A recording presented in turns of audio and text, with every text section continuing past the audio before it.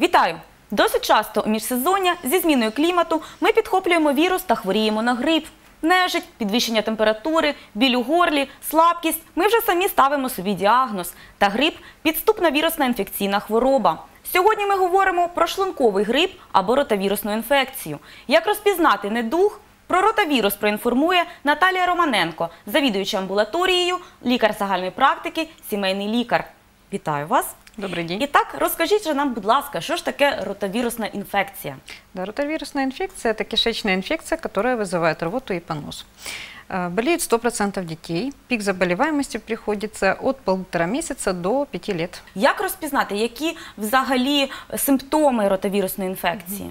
Э, Инфекция заболевания начинается с рвоты, небольшого повышения температуры тела, потом присоединяется водянистый понос, ребенок становится вялым, отказывается от пищи. І що треба робити? Первую очередь ребенок теряет жидкость с и поносом. То есть нам любой ценой необходимо восполнить эту жидкость, чтобы ребенок не был обезвоженным. В аптечке у каждого родителя, особенно где есть маленький ребенок, должен быть пакетик с солевым раствором для регидратации. Если такого пакетика не оказывается, то раствор можно сделать э, в домашних условиях самостоятельно. То есть берем на, на литр кипяченой воды комнатной температуры 2 столовые ложки сахара, э, чайная ложка соли, чайная ложка соды, все это смешиваем и начинаем выпаивать ребеночка. А яким чином? Можливо, як по якимось дозам необхідно в першу чергу давати? То есть э, литр в течение э, дня ребенок должен выпить, и э, усваивать жидкость он должен в достаточном количестве. Что значит в достаточном количестве? Ребенок должен мочиться один раз в три часа. Если ребенок не мочится, вызываем скорую помощь, ложимся в стационар.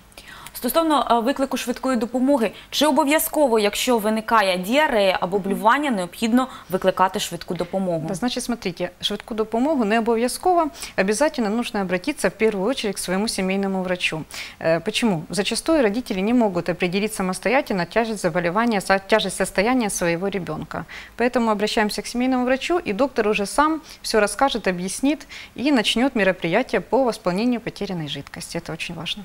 А чем взагалі небезпечно це захворювання? Опасно заболевание тем, что ребенок обезвожен, повышается температура тела и могут на этом фоне развиться судороги. Также, когда ребенок обезвожен, нарушается работа легких и вследствие может возникнуть пневмония. Чи є профілактичні якісь міри для того, щоб не захворіти на ротавірусну інфекцію? Да, профилактика существует, это вакцинация. Э, В Украине зарегистрирована вакцина Ротарикс, это двухдозная вакцина. Вакцинироваться надо начинать с полутора месяцев и закончить вакцинацию до 6 месяцев.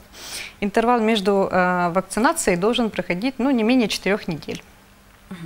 І таке е, дуже важливе питання, тому що це інфекція. Якщо у нас інфекція, то ми повинні приймати антибіотики. Чи необхідно під час е, захворювання приймати антибіотики? Смотрите, есть только три случая, в которых назначается антибиотик при кишечной инфекции. Это кровянистый понос, то есть когда мы видим кровь в кале.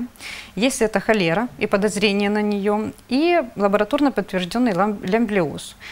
Во всех остальных случаях назначение антибиотика не обосновано.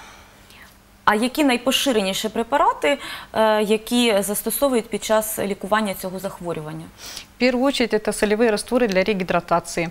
Регидрон, Биогай, ОРС, Ионика. Их очень-очень много, и купить можно в любой аптеке, они доступны. Сорбенты тоже можно, но только в отдельности. Сначала мы даем сорбент, через э, час примерно начинаем давать солевой раствор для регидратации, потому что сорбент все будет брать на себя. А що стосується пробіотиків?